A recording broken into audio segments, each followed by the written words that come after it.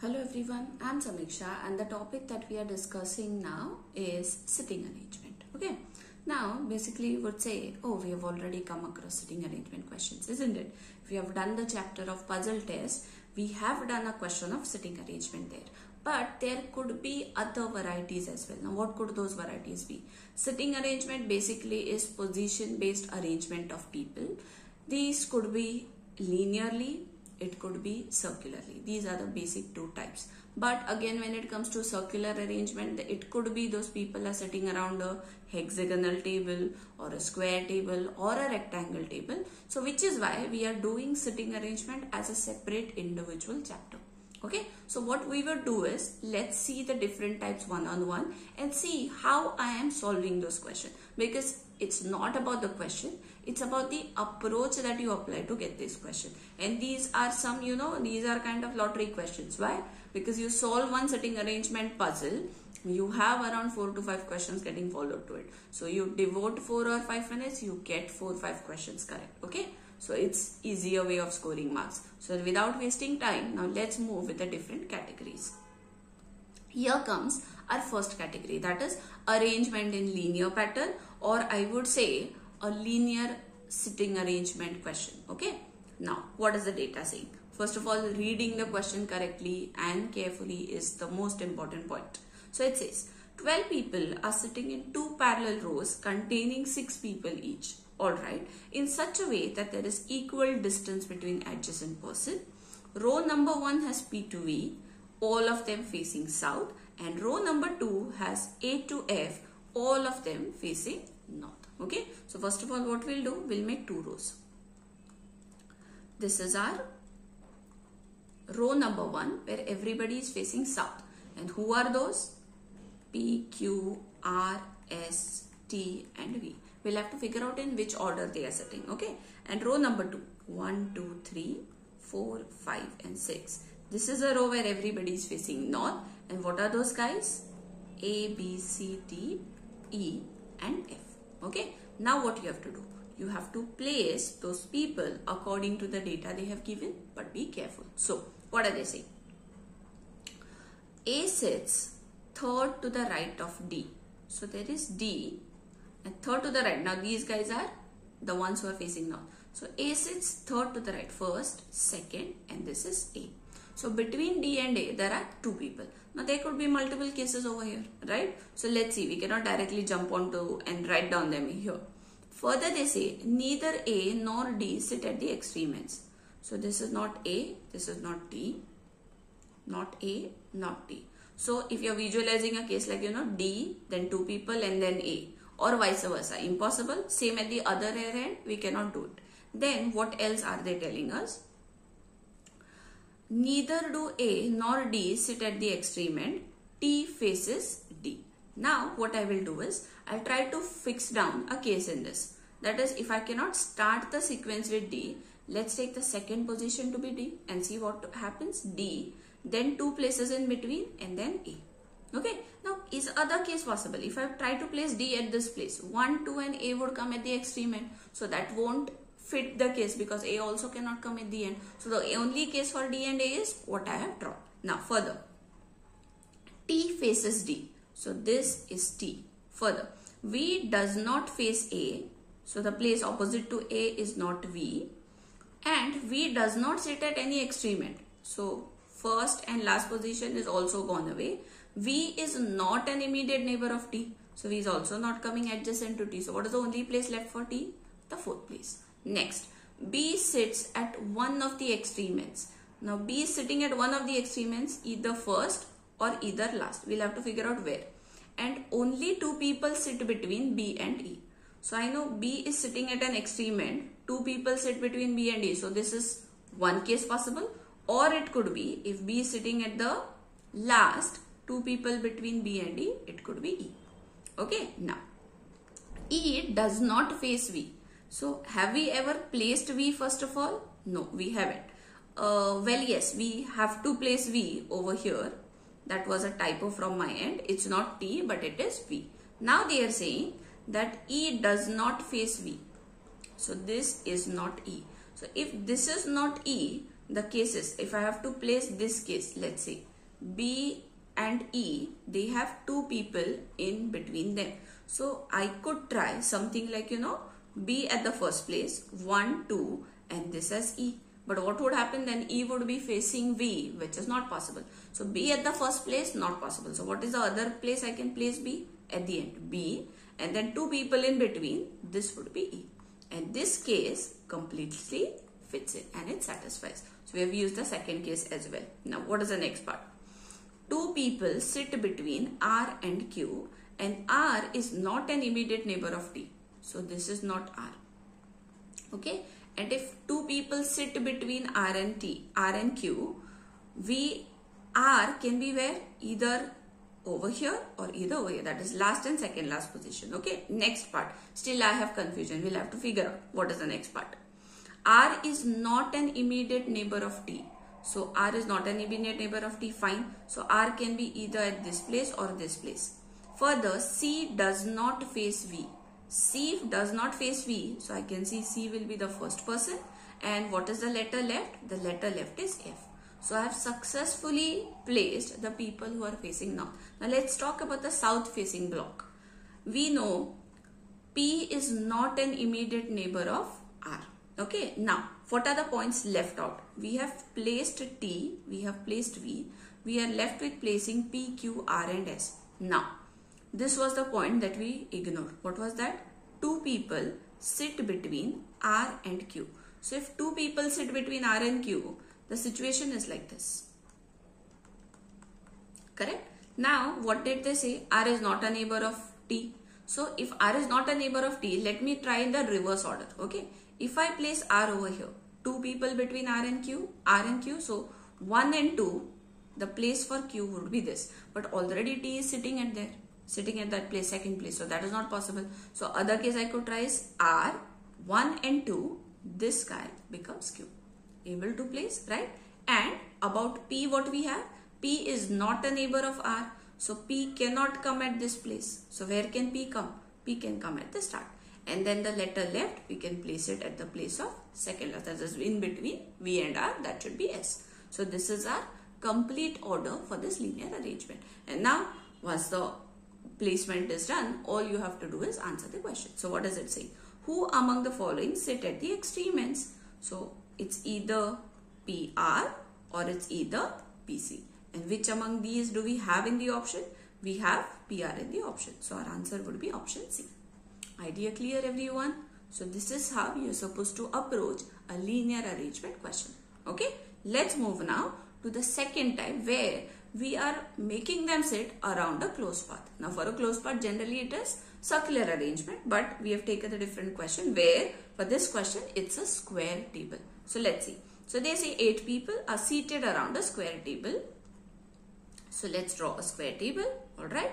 Now how are they sitting? 2 on each side. So 1, 2, 3, 4, 5, 6 and 7, 8. And everybody they haven't told us whether they are facing towards the center or away from the center. So it's a good practice taking everyone facing towards the center. It's the most convenient one. So you won't have confusion in your left and right. Okay, so first part. There are three lady members and they are not seated next to each other. Fine. J is between L and F. Now there's a person J who is between L and F.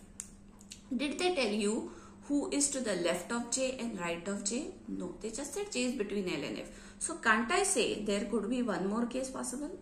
Where I'll just shuffle the neighbors because I'm not sure about who is to the left and right. And whenever I have confusion, as I said, what would I do? I will simply make cases and run with those cases simultaneously. So let's put J over here and F on the top and L on the bottom.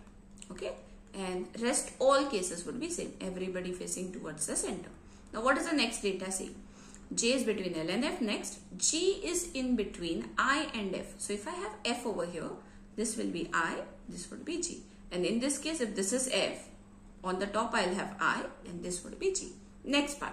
H, a lady member, is second to the left of J. So this is J, second to the left. First and second, this will be H and H is a lady member. Now in case number 2 that I have drawn. Okay, if you check, second to the left of J. G is already sitting over there. So how will I place H over there? It's not possible. That means this case number 2 is wrong. So that means the order of L and F is what? L is to the left of J and F is to the right of J. This is the correct one. Okay. So see, one case got eliminated. So I need not worry about ki at the last whether the case that I have got is correct or wrong. No, I have made it 100% accurate because I have tried making cases. And that is what I always suggest. Always make cases wherever there is, there is confusion. Okay. Now further. F, a male member, is seated opposite E. F, a male member, so F is a male and seated opposite E, a lady member. So E is a female. Next, there's a lady member between F and I. Between F and I, I have G, so that means G also is a lady member. And if you read carefully, the question states what? There are exactly three ladies. There are three lady members. That means all the rest of them are boys. So L, J, F, I and the letter that is left that is K. They are all males. Now what is the question? Who among the following are the three lady members? Who are they? It is G, E and H. So G, E and H. Check for the option. First is E, H and J. E, G and J. G, H and J? No. So the correct answer is none of these. This is G, E and H. Idea clear everyone? This was our second arrangement where it was kind of like a square table. So you would see when it comes to square or rectangle or hexagonal or circular, the approach is similar. Only thing is what? The placement of the people would be different. That is here, when it comes to square, you know the people would sit around the sides or they'll sit along the corners. And the difference with square circle is what? We don't have any start or end point. So they'll just lie along the circumference. Okay, that's the only difference. Otherwise, the way you're doing a question is one and the same. So what we'll do, we'll just see one more question of circular arrangement that would give you an idea about how the placement is changing. The way we are doing the question is same. So let's move. So there are seven people A to G sitting around a circle. So I'll draw a circle. Now problem number one is what? I cannot allot the places. Like for square you had the sides, you had the corners. Here there is no side corner. So we'll have to go with the question flow and accordingly mark those people. Okay, so what does it say? C sits third to the left of D and both are facing the center. And one more point over here which I've missed is what? 5 out of these six, 7 people, they are facing the center. So that means 2 of them will be facing away from the center. So this is a question where there's a mixed batch. Few people facing towards the center, few facing away from the center. We'll have to be careful. So C sits third to the left of D and they have given you D and C both are facing towards the center. So let's say this is D. 3 places third to the left. So 1, 2 and 3, this place will be given to C. And C is also facing the center. Next, so if you see, first of all, I've placed 4 people and there are 7. So I have to place 3 more. So how would they be? 1, 2 and 3. And that is how I've split my circle into 7 parts. Now further, E is not an immediate neighbor of D or C. So this cannot be E as well as these places cannot be E. So what is the place left for E? Obviously this guy. Next, the one sitting exactly between D and F is facing opposite to center. Okay. So there is D and F and somebody is sitting exactly in between. Okay. Now initially exactly in between I would mean what? The number of people between them is equal. Okay. So there could be one person or there could be how many? There could be four person likewise. So just check there is one person sitting exactly in between D and F, you have D over here, right? So to place F, there have to be even number, equal number of members to both of its sides. Only then I can say it's sitting exactly in between, the midpoint, okay? Like you would say 1 or it could be 3 or it could be 5. If I go with 4, what would happen? There is no center place coming up. So you cannot go with that case, okay? Now, if I try to the right hand side of D, there are three people available. So mid position was this where E is already placed. So to the right of D I cannot place. Now let's try to the left of D. So if this is D and if I place F over here, there's exactly one place in between left, right? So this case fits. There's no other case possible because then I'll have to go all the way around and again C is occupied, E is already occupied the place where exactly in between cases would exist. Now the one sitting in between D and F they say is facing opposite to the center. So this person is facing away from the center. Who is that person? We have to find. Next, G is sitting third to the right of A and G is facing the center. G is sitting third to the right of A. 1, 2 and this is G. Okay. Now first of all between A and G there has to be two people. That is what I'll have to take care. So if I try A at this place 1 and 2 all the way clockwise I'm not able to place. Obviously even anti-clockwise I'm not able to play. The other place that is vacant is here. If I place A over here left side that is you know no sorry if A is facing away from the center for this part right side if I see 1 and 2 I can place G at this place possible but to the left side if you see again 1 and 2 this place is taken by E so towards the left of A nothing can be done towards right of A yes G can be placed over here so this is G and we know what about G G is third to the right of A yes and is facing the center. So G is also facing the center. Then one of B's neighbor is facing opposite to the center. Now one place that is left is this one. The one between D and E. We can give it to B and what are they saying? One neighbor of B is facing opposite to the center. So D is already facing the center. So who's going to face away from the center? It has to be E. So I've got all the people placed and I've got their directions as well. Now the point, this point, five of them facing the center and two facing away from the center. I'm going to use this to get the direction in which the remaining people are sitting. So you can see A and E. They are facing away from the center. That means rest of everybody will face towards the center. Got the point? Now here, which of the following pair represents the person facing opposite to the center? So who are they? It's A and E. So your correct option is option C. Idea clear everyone? So these are all the types that you will have to come across the chapter of sitting arrangement. Sitting arrangement is basically into two types only, linear and circular. But in circular there could be like the shape of the table, the shape of the structure around which that closed path you're sitting is different. It might change square, hexagon, pentagon, triangle, anything. And another thing that could change is what? them facing towards the center and away from the center. So in all these cases, everything uh, is easy. All that you have to remember is what? Wherever there is confusion, make cases and solve the question. Okay? And obviously, practice more questions of these so you can master this topic. So that's it with the topic everyone. Thank you.